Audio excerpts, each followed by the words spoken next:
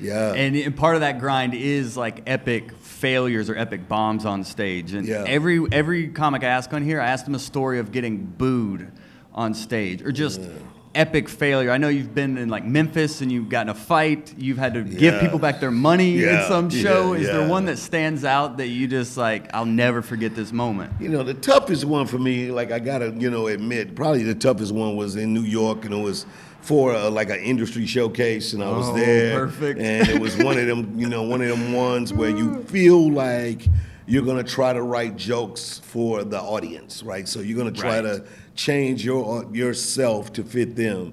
And I bombed. I mean, I walked up and bombed, and it was like a horrible feeling.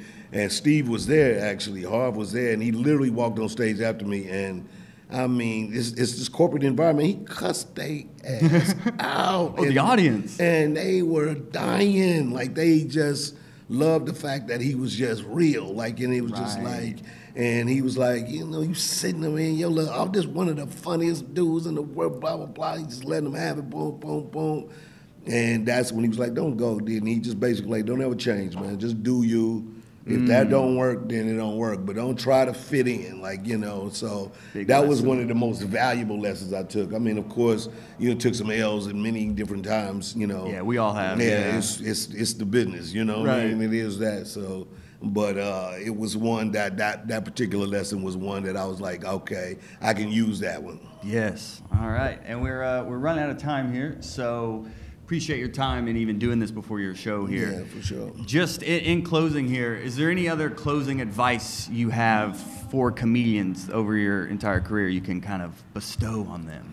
My, you know, the main thing is always try to get as much stage time as you can. I mean, a mm. lot of time people just want to make it, and they have a couple of jokes, and they and they kill it whenever they go on stage, and they believe like that's all that it takes. But really, the more that you sharpen your knife, your, your machete, whatever it is that you when you're on that stage, and have that ability to walk out there, uh, is something that I, you know, always recommend that people just and you know don't try to make the money first. You know, try to try to be great at what you do first, you know.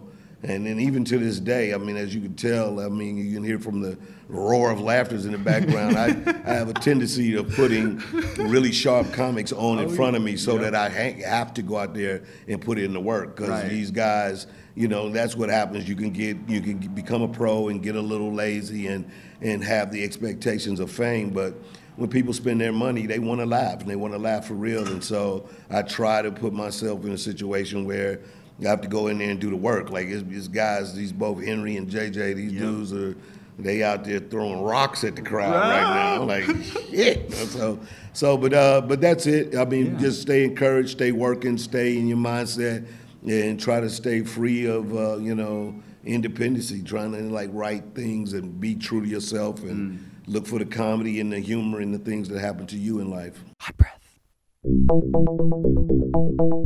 Hot